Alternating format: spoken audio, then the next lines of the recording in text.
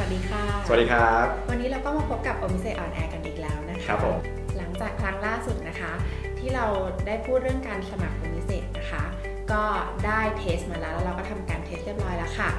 ตอนนี้พร้อมที่จะใช้งานจริงละโดยที่เราอยากจะเริ่มไลฟ์แล้วค่ะต้องทำยังไงบ้างคะ โอเค ก่อนที่จะเข้าสู่โหมดไลฟ์นะครับ ขอทวนหลักๆอย่างนี้แล้วกันหนึ่ง มีเว็บไซต์หรือยังครับ เรียบร้อยแล้วมีค่ะเว็บไซต์แล้วนะค่ะโอเคสองเชื่อมต่อกับระบบ test ของ Omise หรือยัง เชื่อมต่อเรียบร้อยแล้วค่ะ เชื่อมต่อแล้วนะครับ แล้วสุดท้ายนี้คือได้ลองใช้บัตรจำลองหรือบัตรทดสอบ Omise ในการชำระเงินหรือยังครับ เรียบร้อยแล้วเรีค่ะยบร้แล้วอยก็ตัดผ่านเรียบร้อยมีเงินเข้ามาที่ dashboard ไหมเรียบร้อยลเรียบร้อยนะครับค่ะงั้นพร้อมแล้วครับที่เราจะเข้าสู่โหมดไลฟ์นะครับ ก็เข้าไปที่ dashboard.omise.co กันเลยที่เดิมนะครับ แล้วด้านบนมุมซ้ายเนี่ยก็จะมี test กับไลฟ์นะครับ ตอนนี้กดไลฟ์ได้เลยครับ โอเคค่ะ พอกดไลฟ์แล้วก็จะบอกว่าคุณยังไม่มีไลฟ์กับเขาเพราะฉะนั้นก็ต้องกรอกใบสมัครครับ กดที่แก้ไขใบสมัครครับผม หลังจากนั้นนะครับก็จะมีให้เลือกว่าจะสมัครในนามบุคคลธรรมดาหรือว่านิติบุคคล ผมขอยกตัวอย่างในรูปแบบของนิติบุคคลในนามบริษัทละกัน ก็อันดับแรกใส่ชื่อบริษัท เลขประจำตัวผู้เสียภาษีนะครับ ข้อมูลส่วนบุคคลที่มีให้ใส่ที่นี่ก็คือชื่อของผู้ที่เราจะติดต่อด้วยนะครับ หลังจากนั้นก็เป็นเบอร์โทรศัพท์ที่เราจะติดต่อกันได้ค่ะนะครับ ต่อมาเป็นเว็บไซต์ที่จะใช้บริการโอมิเซนะครับ ประเภทของธุรกิจที่จะทำการค้าขายนะครับที่ใช้บริการโอมิเซ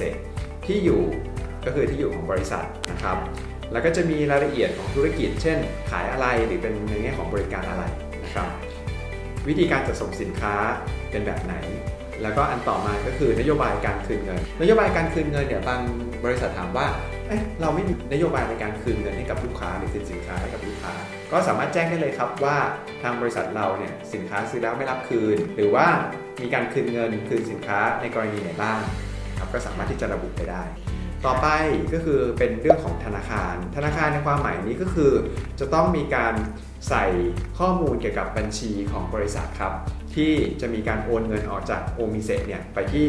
บัญชีธนาคารนั้นๆนะครับค่ะซึ่งสามารถเลือกธนาคารเนี่ยได้ทุกแบงก์ในประเทศไทยครับ หลังจากนั้นก็จะมีช่องที่บอกว่าเป็นชื่อร้านค้า ช่องตรงเนี้ยนะครับเป็นช่องที่จะใส่ชื่อร้านค้าเป็นภาษาอังกฤษอืม ต้องเป็นภาษาอังกฤษเท่านั้น ใช่ครับ เพราะว่าชื่อนี้นะครับจะไปปรากฏอยู่บน statement ของลูกค้าตอนสิ้นเดือนนั่นเองใช่ครับ ในส่วนสุดท้ายของการสมัครก็คือจะเป็นการอัปโหลดเอกสารประกอบการสมัครนั่นเองนะครับ ก็จะมีเบื้องต้นนะครับ 1. หนังสือรับรองบริษัทหรือ DVD นะครับ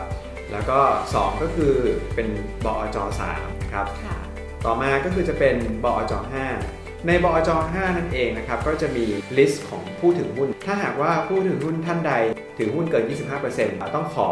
สำเนาบัตรประชาชนของผู้ถือหุ้นคนนั้นด้วยนะครับ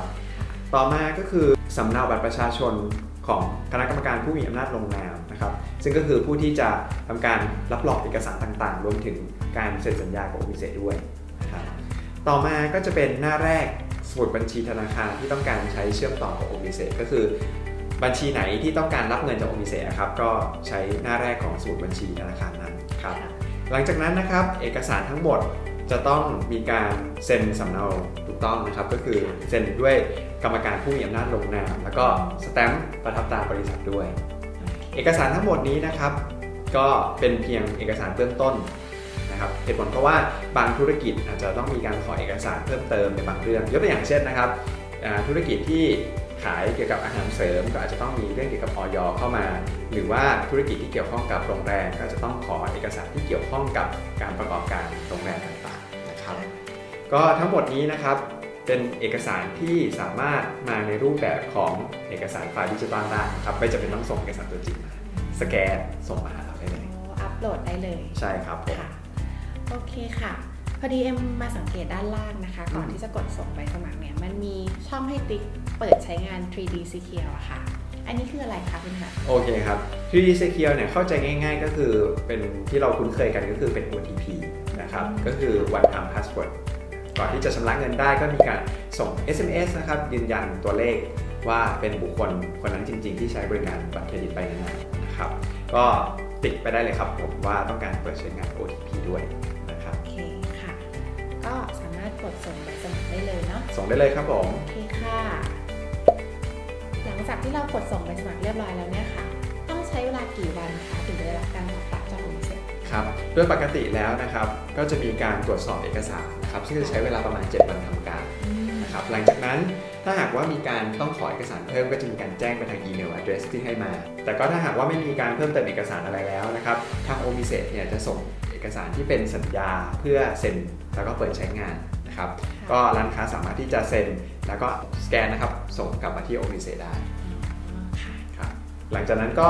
จะสามารถเปิดใช้งานได้เลย